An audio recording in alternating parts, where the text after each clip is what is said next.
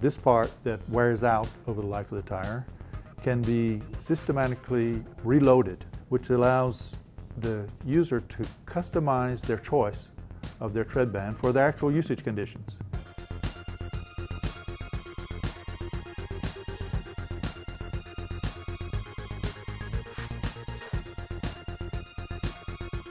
We need to get better and better use out of materials and have lighter weight designs.